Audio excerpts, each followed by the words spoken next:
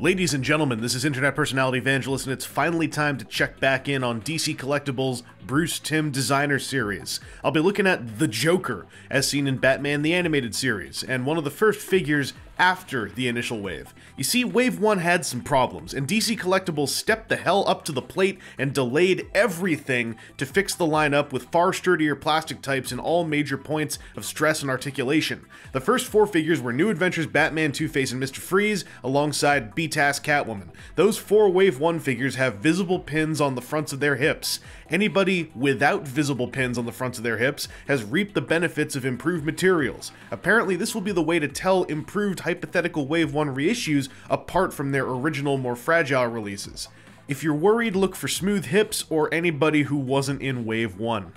With all that spiel out of the way, the Joker figure maintains the goddamn awesome sculpt quality that I saw way back in Wave 1. He looks incredible, from head to toe, front or back. He, uh, okay, yes, there's a scratch there. That was all me. Turns out those purple pants are painted white plastic. Who knew? I sure did, after I tried carving off some inner knee plastic that got a bit mushed up in the joint.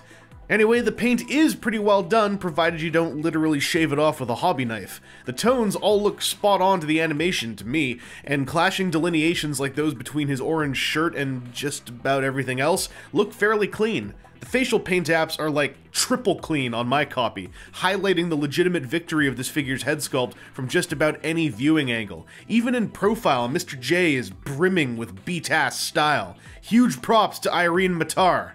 I did cherry pick my figure off of a shelf, so I'm not sure if there were some real bad examples out in the wild. But worst case, DC Collectibles seem to stand by their product, so if you got a super bum one, send him an email. Mr. J's got a lovely ball jointed neck, uh, with expression that makes me super pleased. Like, this thing just looks good when it's doing its nechial thing, and it's probably my favorite joint on the toy. He's also got lovely universal shoulders, with a little bit of soft detentery, and uh, they can go forwards and backwards. This coat piece is a soft PVC that gets out of the way real well, maintains the shape and everything of his uh, yaka. His uh, elbows are on somewhat less soft detents, and they can bend almost 90 degrees. There's a built-in bicep swivel. There is a wrist joint that swivels as well. There is a hinge on the wrist, and with the new construction on these guys, these feel fearless. Uh, in general, all the joints, as I understand it, have now got a more durable material. I think it's a POM material, if I recall the blog post correctly. Uh, there is a cut waist swivel that the tail of the coat, due to its soft durometer, can get totally uh, flexing around as you work it. He's got like super high cut up T-crotch action going on with his pants. Uh, it means he can sit happily, and uh, he's got that, I want to call it Mattel style outwards joint. Uh, this leg's a little bit loose, but this one is a little bit clicky, and I'm not sure how across the board that might have been. No thigh swivel. Uh, there is a knee joint that bends nearly 90. I tried to get it to bend 90, and I thought it was made of purple plastic, so I tried scraping some material, and, you know, that's my story. What's your story? And then his ankles are just shoe cuts. They are just like pegs rammed up into the tubes of his pants. These suck. Uh, first thing I want to say is the posability is like Imagine the Kenner toy, right? Only slightly better. So it's like an improved version of the Kenner toy. As long as you're holding him, like his poses can look real fun, real wacky. The ball jointed neck is fantastic. Uh, it, it's great. He just can't ever stand because he's got tiny feet and they only swivel left and right. They're a funny shape.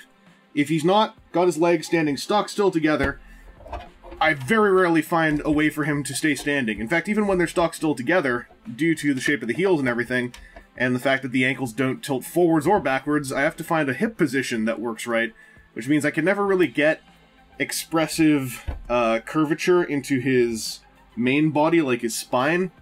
Uh, and it's just a, it's a bummer because everything else kind of works, and I, I'm I was astounded that the ankles did like nothing. Uh, it's it drags the toy down immensely.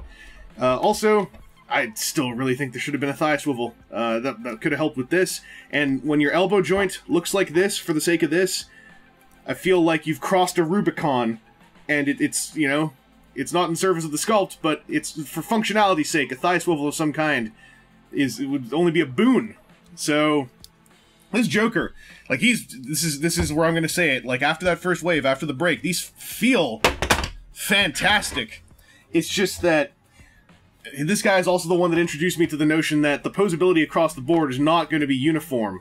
The Joker comes with the series standard display stand featuring an excellent animation model turnaround on the base and a terrible flimsy armature that has two huge dumb prongs sticking out of the back since Joker doesn't have a cape.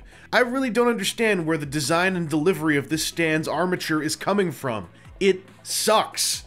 The rest of the accessories all come from the episode The Last Laugh, and Joker's fishbowl gas helmet makes for a great storage bowl for all of his spare parts. That's actually my favorite part of the accessory deal on this guy. I mean, yes, you can also put it on his head. Now he's wearing a fishbowl. Hooray!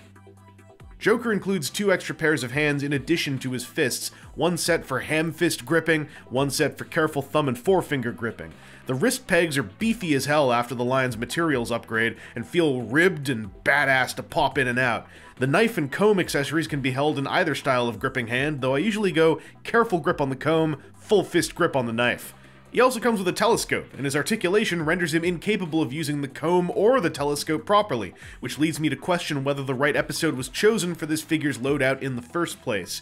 He is able to hold his stolen pearl necklace alright, but man, all of these extras either don't speak to me or can't be held in a decent pose by Mr. J, other than waving them around.